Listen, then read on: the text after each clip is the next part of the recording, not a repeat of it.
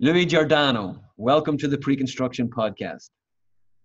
Thank you very much. Uh, it's my pleasure to be here, and I'm thankful that you invited me, and I will be happy to share the few things I have learned along these years. Thank wonderful, you. Wonderful, wonderful. Well, we were just um, talking about our, our both our histories, your Italian heritage via Argentina and my Irish heritage as well. So well, let's um, let's start by going back there. Um, obviously, you're but actually, you know what we'll do? Let's uh, let's introduce yourself first, Luis. Give us a, a quick idea of where you're at now in the US and who you're working for and what position. Sure. Um, well, my name is Luis Giordano. Uh, like you very well said, I was uh, born in uh, Argentina. I grew up there. Uh, right now, we are in uh, Newport Beach, California. Uh, there is where our offices, uh, Southern California offices are. I work for McCarthy Building Companies in a position of uh, pre-construction director. I've been here with McCarthy for, I lost count, but um, more than seven years, yes. It's gonna be eight next March. I joined the company as a pre-con manager. Now I'm pre-construction director, and who knows where I will be. Very good. You're you're on the right road, the, the upward trajectory. I hope so. Very good. Luis, so give us an idea. We, we talked about your history, but I want to kind of go back through it a little bit, not too much um, for the listeners. Uh, Argentina, 1994, civil engineering masters can you bring yourself back to then and what was the plans uh, during that course or during the masters? Had you always got this this idea of coming to the us or maybe going to europe? What was going through your mind? Well absolutely not. That was not my plan. In fact uh, growing up i wanted to be a, an aeronautical engineer. Oh very good. Uh, and then you know talking with friends and people I knew what was going to be the, the, the, the work market in Argentina unless you work for the military. There was not many options. Somebody that was going to high school with me was civil engineer, studied that. I liked it, thankfully. And the programs are completely different uh, in Argentina than what they are here. Uh, civil engineer is um, a bachelor degree. You do four years in Argentina. Now it changed. Okay. I was the last year that it was a six-year um, career, and we had the old style civil engineer that knew basically everything from the basic engineering to hydraulic engineering, uh, geology, um, structural calculations, etc., etc. So it's the old degree. So being in college, I had a friend that um, was working. He knew somebody, and he offered me one of those periods in my country where things were not going well, strikes, school was slowing down. Do you want to start working? And I did. So this was uh, a small concrete uh, subcontractor that were that uh, were doing um, concrete structure for high-rise buildings, apartment buildings. I studied there in the field as a, what he will be a foreman, superintendent. I, you know, you're still almost out of college. You think you know absolutely everything to the field, and you get completely creamed and crushed by reality, uh. by a lot of people that have been there forever. They had spent their life, and this kid comes there and tell them what to do. I, I, I can, I believe I'll, I'll risk to say that it was the richest professional experience I ever had. Yeah. Uh, and, and we, we, can come back to that, but I, I, worked there for five years. So I started like that, and I ended up being like a PM, running different jobs and um, and I really love the field. I love the relationship with people.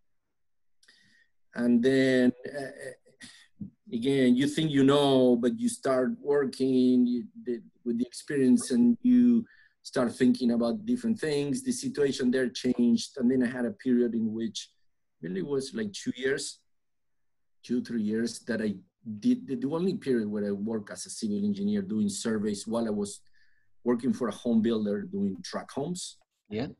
And um, I did that for like, yeah, almost two years and a half, three years. And then I got hired by uh, a, a developer, a, a holding in Argentina that happened to have a lot of assets in construction, but construction was not the only thing they were doing.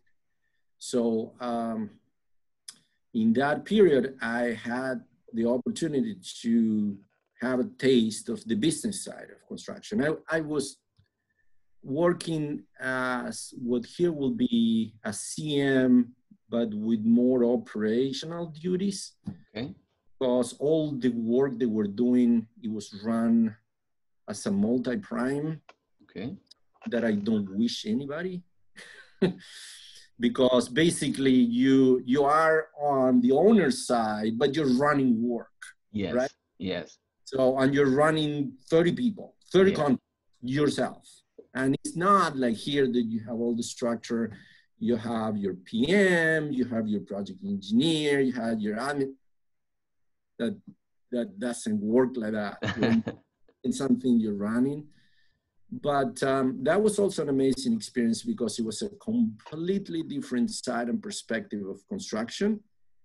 I got to learn, like I said, the business side, and not, not only in the relationship with consultants, with engineers, architects, um, but also with the financial side yes. uh, that I, I, I had in my hands. So this, this company, um, they, they, they were big in business. They really care about doing and, and the diversity in construction. They went from gated communities to apartment buildings, high-rise office buildings, and so okay. Here's the idea. You talk to the architect. You develop everything. You start infrastructure. You build what is in there, and I need to make. wow. money. Wow. That's that's the goal. That so and you're coming with the civil with the, with the field like doing concrete structures and sitting with lawyers and understanding the legal side understanding what they wanted because it was not the same thing i had learned that i wanted yes. so you need to build property they wanted to make money yeah. and But satisfy the clients But Luis, that that is very similar to when you got you got your your masters and went straight into the field. Literally straight into the deep end. Thought you knew everything, like we all do when we come out of college. But actually, that the next two or three years after this, you were going to be taught the life lessons of construction on site. But again, it seems to me you've got to have a, per, a certain personality as well to be able to ad- adapt, be a sponge, take things in, and ask the right questions. Did that kind of set you up for this job where you were going to become and literally were given blueprints of, of, of plans and said listen go and build it. Infrastructure ground up projects well i believe we're going to probably as the conversation evolved, get to that point uh, where we talk about what pre-construction is because when i was estimating it was a different animal right? Yeah. and you're right. You're correct. Yes. But uh, and and i have to highlight this. I grew up in a culture that I, I don't know very well how to put it in words but w- when i met my wife that she's american she says you speak with your body you speak with your hands and all the time you're moving. And we're like that. We're very expressive. And the way you communicate with people is something that you need to live in a society that is very special. Everybody communicate in a very expressive way conversations anecdotes um, they, they are part of the daily life so you need to learn how to read people, to understand people in order to do well in that, right? And yes, responding to your question, I believe that helped me a lot. And it helped me to also, and we have a very special sense of humor too. Um, that at the beginning I wanted to translate humor, that doesn't work. yeah Um, but that helped me to adapt to change cultures and uh, to come to this one and start uh, uh, in this area where I'm now, where I have been for almost 20 years now. Uh, but yeah, that helped.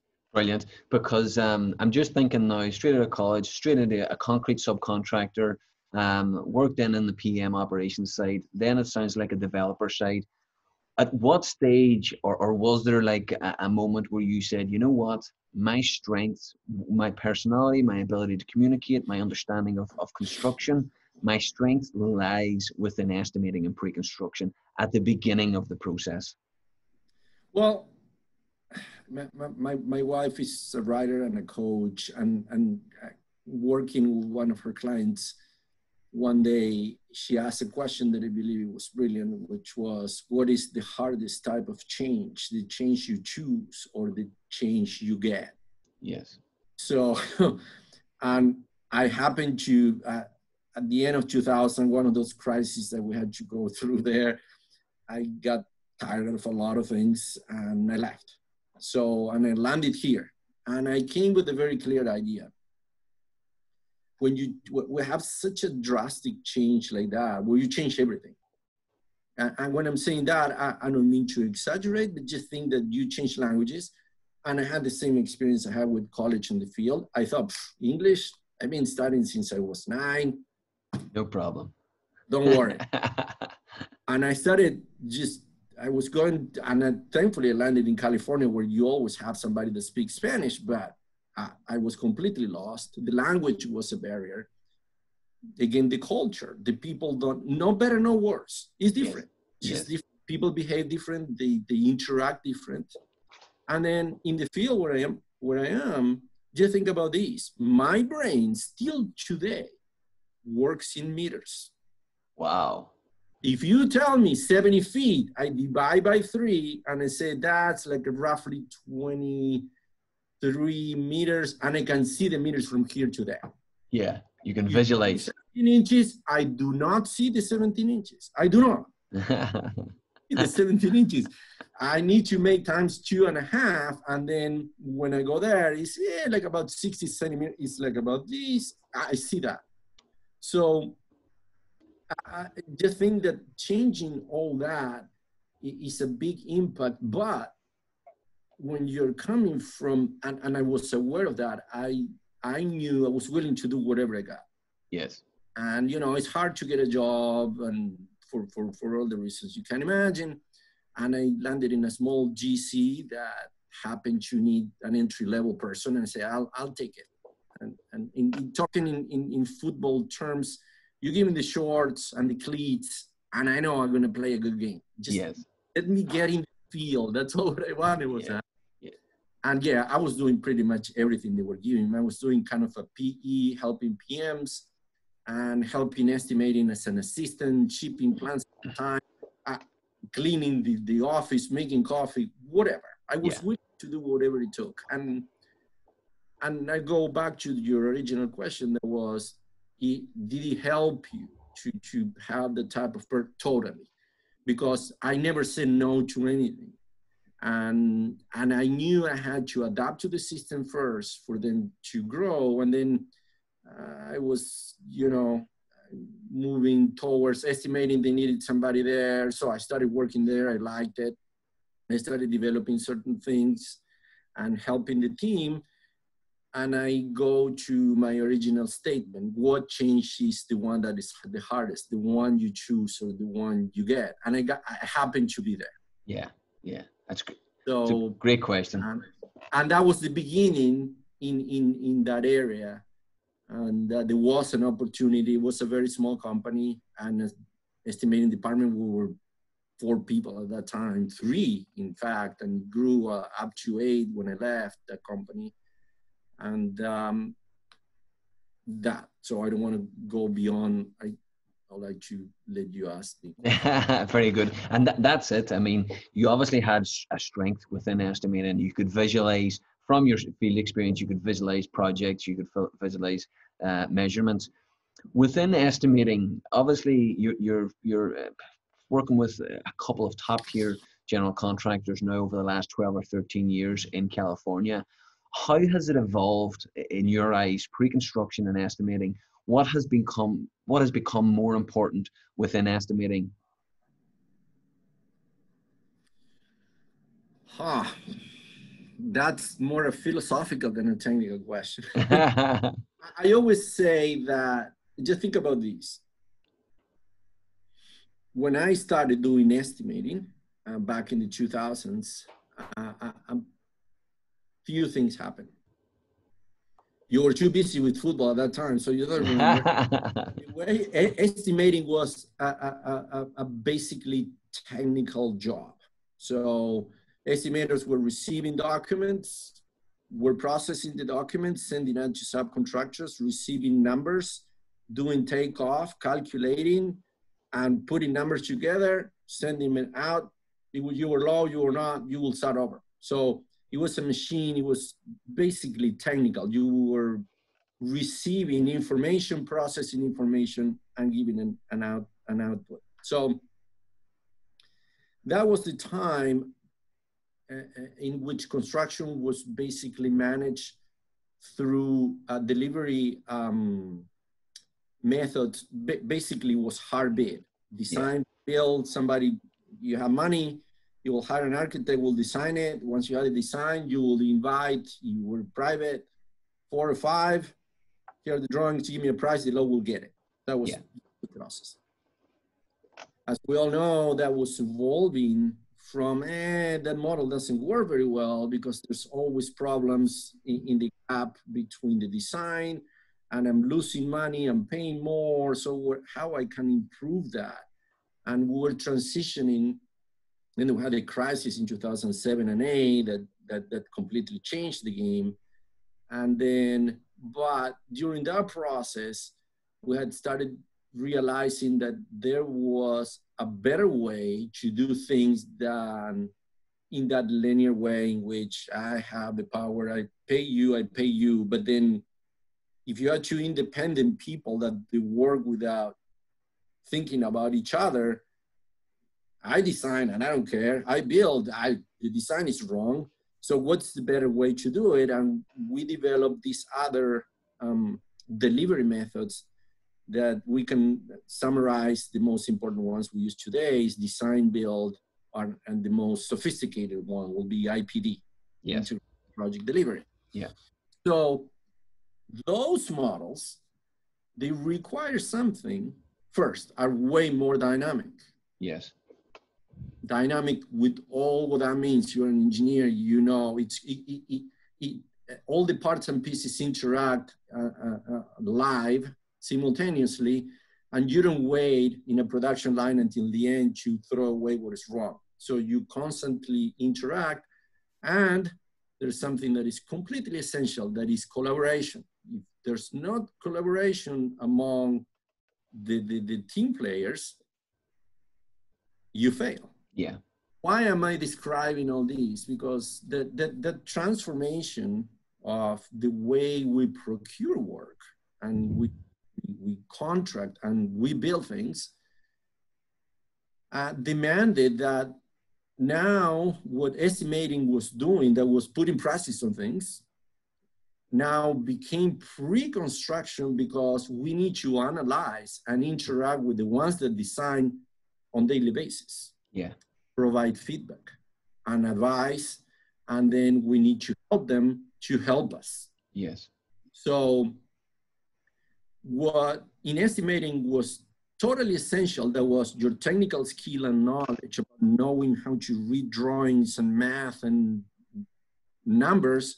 Now when we, when we need to collaborate and interact with others there's another set of skills that is absolutely essential. That are the soft skills so yeah. if we don't know how to relate to others how to interact with others the numbers don't mean anything Yes, absolutely. Yeah, I, I, to- I totally agree, and it's it's changing the face of how uh, senior estimator and pre-construction managers um, work.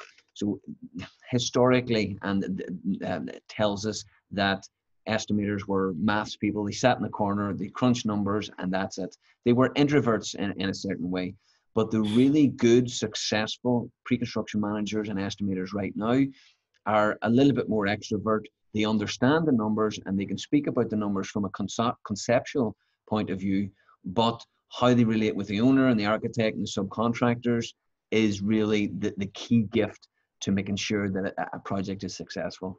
Um, and trying trying to teach people that or tell people that can be quite difficult. Um, how how hard? I mean, in your position right now, and this is kind of following on from that point.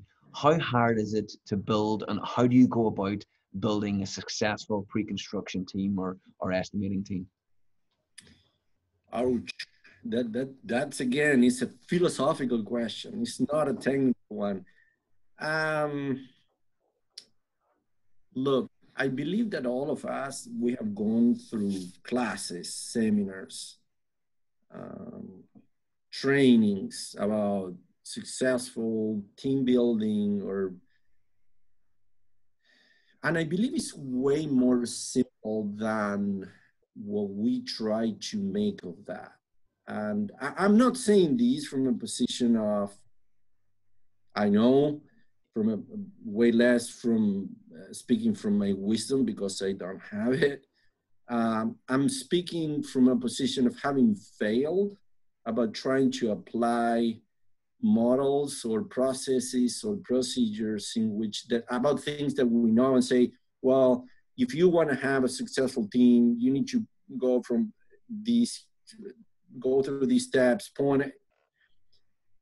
Said in other words, I do not believe in formulas. When it comes about managing, organizing, motivating, and inspiring people, formulas don't work. For this simple reason, I, I just came up with an example. So just imagine if Pep Guardiola wanted to make play the teams where he went after Barcelona the same way he played with Barcelona. It was impossible. Why? Because he didn't have those players, but more than anything, the combination of those players together. Yeah. You might have an idea about what a team is and how you want it to make work, but if you don't know what you're doing and how you want the members of the team to do that, yeah, yeah, there's nothing you can do. So I went too long on saying what, what I don't believe in, but my uh, this is my opinion, my personal opinion based on my own failures. I believe I, when I said it's more simple because I believe that the best way of building a team, the successful part, we'll leave it for a minute there. Yeah. Uh, first, to start building a team is to uh, generate a genuine goal and communicate properly. Okay. Yeah. That so, sounds pretty simple. Yeah. But it's not as simple as it sounds. but again, it, it comes back to the, the, the football analogy. If Pep Guardiola has a mission, he has a philosophy, he communicates that mission and philosophy, and that's how he gets his teams to be successful. Um, and, and essentially you're taking that to to and you're right there's no right or wrong answer to that. I mean pep guardiola does it differently to jurgen klopp who does it differently to jose mourinho. It's a personal it's a personal opinion. Um, correct. When i was saying uh, about a genuine goal uh, i believe certain things that are, are absolutely necessary that we can avoid and the most important one uh, the, the, the start point is that uh, whatever in what in any industry we're working in, uh, we need to define what our values are, what we believe in. Yeah. So if that is not clear, it's impossible to convey a message to a team. Yes. Uh, in my in my opinion, there's no team that will work without honesty, transparency, and respect. Yes. So those are the foundation. If that doesn't exist, it's impossible to make anything work. And, and if we have clear what our values are, for me, those are the most important ones. And then we can go to something that I personally believe we're all great at something. All of us. Yeah. Finding that is tricky though. But if we can tap into that greatness that every member of a team has and use it first for their own motivation and satisfaction, and then to the benefit of the team, the potential you can achieve is kind of incredible, right? But and, even uh, Luis, sorry to interrupt. Yeah. Even even no, more no, no, important, even more important than that, if you've got an estimating team that you've got a really strong mechanical guy, a really strong electrical guy, a really strong civil guy, drywall guy, then if that is their real strengths, they can all learn from each other. So they all become stronger as a group. So yes, yes um, totally. And, and the last thing I would like to say is that if we work as team leaders, it has to be very clear that the interest of the team is always above the individual interest. Okay. And I have failed on this because you know very well that if you score four goals and your team loses 5 4, nobody will remember your four goals. That's right. They, they, they don't really matter. Nobody's going to hug you again. Oh, mm. doesn't matter. You lost, right? Yes. I, I'm not trying to make a point of winning or losing. I'm trying to make the point that in a real team, the success of the team is what matters, not the individual one. And we always have to have that present. We and in life that works the same way. Sometimes yeah. think that oh alone I can do no. We always need the help of somebody uh, to go wherever we want to go, and we need to that that has to be very clear too. Good. I love it. Yeah, I like it. And and again, I, I love the sports analogies because we can take a lot from sports, and basically sports can take a lot from the, the corporate world as well. But I really think that, that I mean they're, they're my two loves, sport obviously, and and the corporate world. So I love those. Let's quickly switch. Talk to me about pre-construction technology. How important is it now to your day-to-day operation, um, and how much of it do you actually use, and, and what excites you about it? Is there any tools out there that you guys are using that that you think, you know what, if this develops a little bit more, this could be a game changer? Well, uh, yes. Uh, I, I, believe at this point, um, Peter Gabriel used to say that the only thing that doesn't slow down is the rate of change, right? So we, we can't avoid that. We can't deny that we're evolving and we're changing. And we cannot stay away from that evolution path, right? And in construction, we have to say that we're very special and things have to have a very concrete result in order for us to apply it. But in these days, if we uh, don't accept that fast speed evolution that we're experiencing, we stay behind.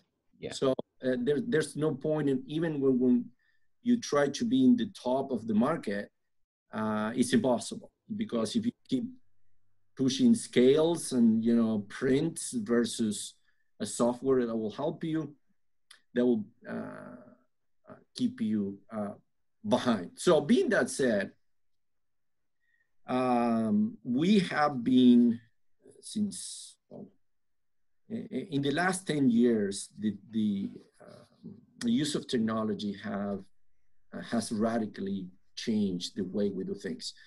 We, use a process that we internally call continuous cost modeling.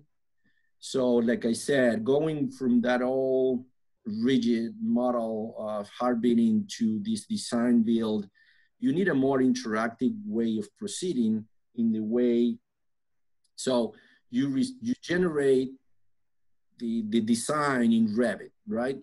3D uh, software that gives you this is going to be my project.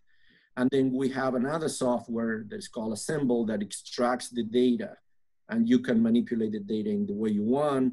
Uh, so basically extract quantities. That goes into another estimating software that's called WinEst that with historical cost, we can price the job. So we call it continuous cost modeling because that happens kind of not live, but in a very dynamic and, and fast pace. So as you are designing, you don't need to wait like in the old times, they will give you things, you will send 200 questions back, that everything is, well, things are happening in real time. We can say, you know what, I believe we're off we need to reduce the amount of the skin, we need to change metal panels for this, we need to go to a different um, audiovisual system, the mechanical system, etc., etc., etc. So it's continuous because it happens real time, um, and we're modeling something to achieve a, pro a product that the owner wants in, in terms of quality, money, and of course schedule, right? right. So that we have been using and we are constantly improving. I said that in the last 10 years it changed a lot, but I will say in the four or five, yeah, eh, eh, it's very, very, very fast pace. Yeah. And, and it's key for what we do. Yeah. It- and I think I, I think you you know, touched I think you touched on it as well. I mean, the, the, the old way of building is completely changed. Design build, there's more control, it's more agile.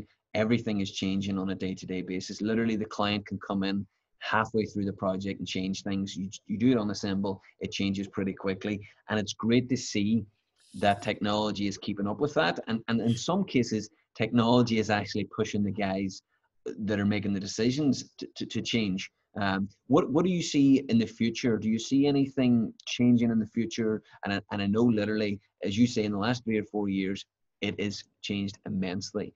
Is there anything coming down the line? Um, we, we talk about BIM VDC, the models being the ma- the main driver and the main the main focus.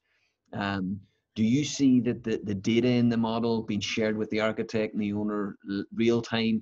Pe- pe- people being able to, to see costs fluctuating is that something that that's going to that's to happen in the future or what do you see as the future Yeah, well, I I, was uh, blessed and, and, and be very privileged to work here in McCarthy because, like I said, we we, we have a, a, a- a huge group of people, and the training for us is very heavy, and I was lucky to uh, have the opportunity to work with a group of young people that their motivation is completely different than than than ours. But I, I always was super curious about what was new, what was changing, what can we do better, and I was always open uh, to those kind of new ideas. I don't have a single doubt that we're pretty close to find something that from the generation of the idea, it can tell you, here it is the number you want in this long. We're going in that direction. yeah Uh, I don't know when, a year or two, but now we're using three different pieces of software. At one point, it's going to be one. Yeah. Um, and, and in fact, uh, you know,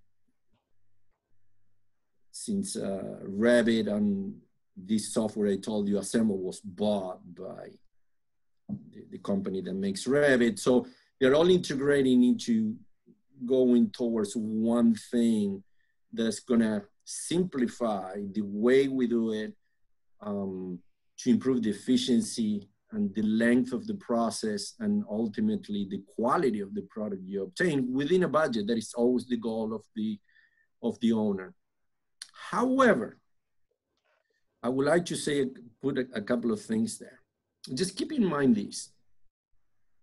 When when when my son turned 18 he wanted to go to New York. We spent a, a, week there, and then I have been so many times to New York, but I had never been to the Empire State. I want to go. Eh, let's go. We went, and we went. You take the tour. Well, that's sorry. It was fascinating. It was some night. The pictures were awesome. But what caught my eye is, you know how long it took to build Empire State? no idea Guess. Throw a number. Is 2.2 million square feet, 102 floors. wow Nine- 31. 1931, 90 years ago. How long? Uh, What number? um nine years 18 months. what Yes. Right. Yeah, I, I'm going to have a bunch of people that are watching this. I'm going to say, uh, how many people die? How many? True. Absolutely. Like, Wow. like the software changed, safety changed, a lot of things changed. Now, we just started construction for a college, for an institutional building, 52,000 square feet. It's a concrete frame, but 52,000, two stories. okay And now we're closing a proposal that we're submitting in, in 10 days. Another 56, same thing, but three stories, steel frame, like the Empire State Building. This three story steel frame, 56,000 square feet. Guess how much is the schedule? 50 i would say the same time frame 27 months. wow So you see where I'm going with this? yeah yeah We have made progress in certain areas. yes But uh, we have applied the changes that we didn't have any other options than doing it. Yeah, yeah. So, but our industry has stayed behind in the terms of using technology uh, in, in, the proper way to our own advantage. Yeah, not a critique.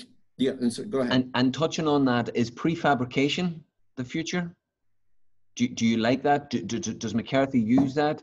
Do, do you? Well, well, yeah, we do. For for high rise buildings, you use a lot of prefab. You you have modules, bathrooms, hospitals that they're pre-mounted in the yard of the plumber and the bearing, and you put it in, and prefabrication for skin. Uh, uh, the curtain walls are prefabricated, and precast panels are prefabricated, but the, the prefabrication has a limit. You yeah. can prefabricate yeah. a structure. Yeah, there are uh, steel structures that are more functional in terms of going faster, uh, um, you know, so many. I don't want to say the names, but uh, you have a limit. Mm-hmm. You cannot build the Burj Khalifa uh, offsite in a precast. Yeah, yeah. You cannot. Yeah. Uh, or, or in prefab. Is one solution, but um, yeah it's not revolutionary. Yeah, no, I understand. It's it's a bit it's a big talk talking point at the moment. That's why I was I wanted to kind of touch on it. Yeah. Um, so give me an idea, Luis. Now you're in California. We relocate a lot of people, estimators, pre-construction guys, all over the U.S., but California being one of them. What do you do to relax? What do you do to get away from the, the crazy world that is, apart from watching football? Um, although you probably do, do you still you obviously watch Argentina? Do you have an Italian team that you follow? How, what do you do to relax? Well, what do I do to relax? I do a lot of things to relax. because I, I, firmly believe that a balanced life is the only one that allow us to have a clear brain. So if the body doesn't feel well, the brain doesn't is not well. So I'm very heavy on, on sports. Like you said, I played since I was young. I play soccer. I was a goalie. Not not good at all. lot of tennis too. I, practice a lot of things, and for in the last couple of decades, uh, I had been running, swimming a lot, and lately I changed to biking. And that's the one I I spend the most of the time uh, on. So uh, again, I have the privilege to work in an area. Our office is in an area that is pretty close to the beach. We are in the back bay in Newport Beach, so I can ride my bike at lunch. Nice. and those are my breaks. I, I'm a very early guy, so I come early, or I ride it early in the morning, or at lunch. I do that. I do that on the weekends too. Uh, we spend a lot of time with my wife. We love to travel mostly sports are the ones that gives me i wouldn't say the peace but kind of the balance i need to recharge my batteries. And um, I, I can avoid like you said you know i won't deny it that when the last world cup i told my wife now finally i can say i'm totally over it. I'm gonna relax watch all the games emotions at all and at one point she's what are you doing she's walking by me and says, "What do you mean? You said you were relaxed. You're sitting in the edge of the ah. wall." so blood pressure's up here. Yeah, it's it's right. It's well, I you heard me mentioning. You know, I still have the picture of the soccer that Guardiola played with Barcelona when he was there. That's the idea. That is kind of, if you think, I don't want to be biased, but it's a combination of the Argentinian, uh, Brazilian soccer, touching yeah. the ball a lot, rolling the ball a lot, and letting the talent shine. Yeah, huge influence, and and and he. I mean, you can you can even go back to Johan Cruyff and and, and people like that within the Barcelona hierarchy. But yes, I oh, agree with you. Yeah, he, he was I, the one that, that he, he was, but it's it like construction. Johan Cruyff like took it a little bit, but I think Guardiola like took it the further the further seventy percent. Johan Cruyff came, give given the blueprint. Obviously, he was putting it through the academy, so the players in the academy were playing that way. But then once uh, Guardiola got them at 16, 17, 18, then he brought he brought them to his philosophy, which was even more tic tac and, and possession. Yeah, I, I heard him saying something brilliant once. Says you know, going back to building a team, you need to be absolutely clear about the message of what you want. You need to kill yourself in the practice, and on game day, go and shine. Because yeah. what do you tell Messi? Nothing. I tell nothing. So we during the, the week we talk about what kind of game we want to play, and on that day he has to do what he knows the best, use his yeah. talent. That's it.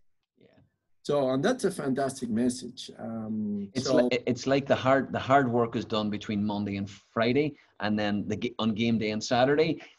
The, the, the managers that are on the sideline on a Saturday roaring and shouting, then it's too late you're roaring and shouting trying to get a message across that you should have got and again it comes back to construction if you are in the operations team senior project manager project executive roaring and shouting about things are not right and not right it should have been done during pre-construction.